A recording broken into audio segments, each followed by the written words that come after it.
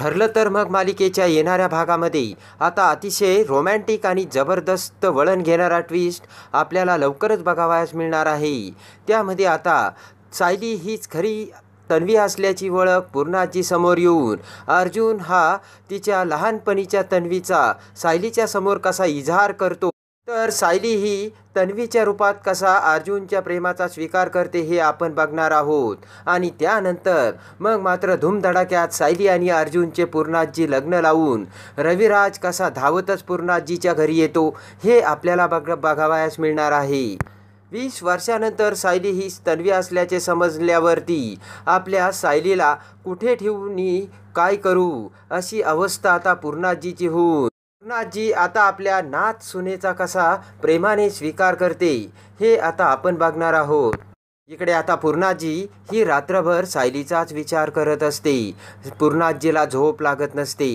पूर्णाजी विचार करते की मी सायलीला काही जरी बनवायला सांगितलं तरी सायली ती गोष्ट प्रतिमाच्या हातच्या चवीची कशी काय करते तेच मला समजत नाही. आणि योगायोग असा की माझा वाढदिवसाला सायलीने गुलाबजाम बनवले तेही अगदी प्रतिमाच्या हातचे चवीसारखे.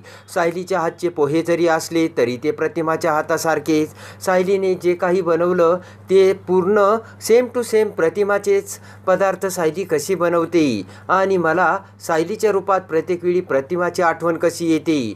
ज्या वेळेस आपल्या भिंतीवरचा फोटो सायलीने पाडला. त्यावेळेस आटगळीच्या खोलीतून सायलीने नेमके प्रतिमाचाच फोटो कसा आणला? तर आता प्रतिमा आणि सायली यांचे काहीतरी जुने नक्कीच नाते आहे काय? याचा आता विचार पूर्णाजी कळ करत असते. पूर्णाची विचार करते की प्रतिमा ज्या वेळेस आपल्याला जे काही वाक्य म्हणते तेच वाक्य सायलीच्या तोंडातून यावेळी पडताना आपल्याला दिसतात आणि आपल्या ते लक्षात येतात. वाढदिवसाच्या दिवशीसुद्धा प्रतिमा माझ्या वाढदिवशी जसा वाढदिवस साजरा करायची आणि गुलाबजाम खाण्यासाठी जे काही म्हणायची ते सेम टू सेम आज सायलीने केलं. हा निव्वळ योगायोग आहे का? याचं खरं सत्य काय आहे? हे आता मला शोधावाच लागेल. प्रत्येक वेळेस मला देवी आई काही ना काही सायलीच्या रूपात प्रतिमाचा संकेत देतेच. तेव्हा आता मला पायावरती उठून खऱ्या सत्याचा उलगडा करावायाच पाहिजे आणि आता सायलीची मला खरी ओळख समोर आणलीच पाहिजे असा आता पूर्णाजीने इकडे निश्चय केलेला असतो. इकडे आता प्रतिमाच्या वाढदिवशी पूर्णाजीसुद्धा सुभेदारांच्या घरी मोठा बड्डे सेलिब्रेट करत करणार असते आणि इकडे रविराज विचार करतो की वीस वर्षापासून आपली हरवलेली तन्वी ज्या बाईमुळे आपल्याला मिळाली त्या बाईचे आपल्यावरती खरंच खूप उपकार आहे. तेव्हा प्रतिमाच्या वाढदिवशी आपण त्या बाईला काहीतरी मोठे गिफ्ट सरप्राईज देऊ आणि त्यासाठी आपण त्या बाईला बोलावू असा आता रविराजने विचार करून रविराज तन्वीच्या त्या सांभाळलेल्या बाईला लगेच आपल्या घरी बोलावतो. तेव्हा ती बाई येताच रविराज म्हणतो की तुम्ही माझ्या तन्वीला तिच्यावर खूप चांगले संस्कार केले तिला प्रेमाने वाढवले. त्यासाठी तिच्या आईच्या बड्डेच्या दिवशी तुम्हाला सर्वात मोठे गिफ्ट देणार आहे. तेव्हा प्लीज तुम्ही तिच्या आईच्या बड्डेच्या दिवशी आमं आवर्जून आमच्या घरी या.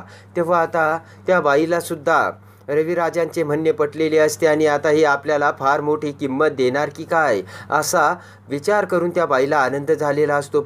पण ती धूर्तबाई तन्वीकडे जाते आणि तन्वीला सर्व हकीकत सांगत म्हणते की मला प्रतिमाच्या बड्डेच्या दिवशी त्यांनी घरी बोलावलं आहे तेव्हा इकडे तन्वी विचार करते की हा किल्लेदार एकदमच हुशार आहे. तो कधी काय करील आणि काय बोलेल याचा नेम नाही. प्रतिमाच्या बड्डेच्या दिवशी हा या बाईला कोणते गिफ्ट देणार असा आता तन्वी विचार करते. रविराजांनी त्या बाईला सुद्धा सांगितलेले असते की तुम्ही तुमच्याकडे वीस वर्षापासून तन्वीच्या असलेल्या ज्या ज्या काही तिच्या लहानपणीच्या गोष्टी असतील ना त्या माझ्याकडे द्या. अजूनही लहानपणी तन्वीला जे जे काही आवडत होते ते सर्व मला तुम्ही सांगा बरं का. त्यावेळेस मात्र ती बाई घाबरलेली असते आणि ती सर्व हकीकत आता ती बाई तन्वीला सांगते.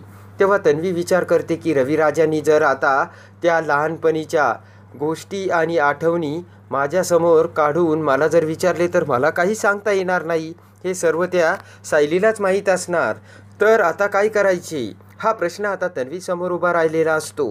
तर घाबरलेली तन्वी नागराज आणि राकेशकडे येत म्हणते की या म्हाताऱ्याने खूप मोठी उठाठेव करून याला आता खूप वेगळे चाळे सुचले त्याने मी ज्या बाईने मला सांभाळले होते ना तिला आज घरी बोलावलं होतं. आणि म्हणे काय तर तन्वीच्या लहानपणीच्या सर्व गोष्टी आम्हाला द्या.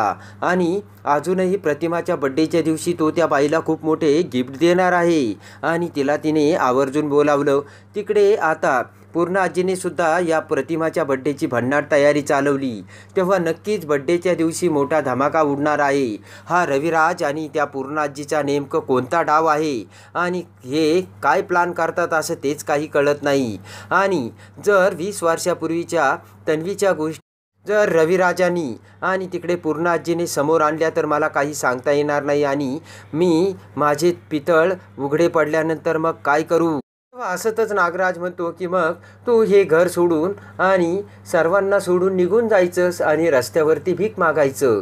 तेव्हा आता नागराज चेष्टेने हे बोलताच तन्वीला राग येतो आणि तन्वी म्हणते की माझं पितळ जर उघडं पडलं ना तर मी सुद्धा तुम्हाला माझ्याबरोबर भीक मागायला घेऊन जाईन. तेव्हा आता नागराजला मोठा धक्का बसतो. इकडे आता प्रतिमाच्या वाढदिवशी सगळा विचार करून पूर्णा जी कल्पना आणि अस्मिताला बोलावते आणि म्हणते की हे बघ आता मी प्रतिमाच्या वाढदिवशी मोठी स्पर्धा भरवणार आहे. कल्पना म्हणते कशाला? तर पूर्णाजी म्हणते हे बघ ज्या वेळेस सायली माझ्यासाठी काहीतरी प करते आणि जुन्या गोष्टी बोलते त्यावेळेस त्या गोष्टी प्रतिमाच्या बोलण्याला आणि प्रतिमाच्या करण्याला कारणीभूत असतात आणि मला त्यावेळी प्रतिमाची आठवण येते. सायली आणि प्रतिमाचे खरे नाते काय आहे हे मला या स्पर्धेतून शोधून काढायचे. कल्पना म्हणते ते कसं? पूर्णाजी म्हणते की त्यासाठी मला तन्वीसुद्धा इथे लागणार आहे. तेव्हा मी तन्वीला इथे बोलावून सायली आणि तन्वीला त्यांच्या आवडीचे दहा दहा पदार्थ बनवायला लावणार आहे. तेव्हा त्यांच्या मनाने आणि त्यांच्या आवडीने ते कोणते पदार्थ बनवतात यातूनच सगळे सत्य समजणार आहे. जर प्रतिमाच्या आवडीचे सगळ्यात जास्त जो पदार्थ बनवील त्याचे आणि प्रतिमाचे अगदी जवळचे नाते आहे हे माझ्यासमोर येणार. कल्पना म्हणते की पूर्ण ही आयडिया तर तुमची खूप चांगली आहे. त्यामुळे प्रतिमा आणि सायलीचे नाते तर सायलीचा भूतकाळ हे सर्व माझ्यासमोर येईल आणि ते शोधून काढण्यासही मला मदत होईल. तेव्हा आता प्रतिमाच्या बड्डेची तयारी होऊन पूर्ण आजी तन्वी आणि सायलीला प्रत्येकी दहा पदार्थ बनवायला सांगतात. तेव्हा सायली आणि तन्वीने दहा पदार्थ बनवलेले असतात तर अगोदर सायलीचे पदार्थ तपासून घेतले जातात त्यामध्ये दहा पदार्थाची नऊ पदार्थ हे सायलीने प्रतिमाच्या आवडीचे बनवलेले असतात. तर तन्वीच्या पदार्थामधून फक्त दोनच पदार्थ हे प्रतिमाच्या आवडीचे असतात. तेव्हा सायली आणि प्रतिमाचे नाते एकदमच जवळचे आणि घट्ट असल्याचे आता पूर्णाजीची खात्री होते. त्यानंतर पूर्णाजी दोघींचे पदार्थ टेस्ट क करते पण त्यामध्ये सायलीच्या पदार्थाला अगदी प्रतिमाच्या हातची चव असते. तर इकडे तन्वीचे पदार्थ मग मात्र अगदी सामान्य स्वरूपाचे असतात.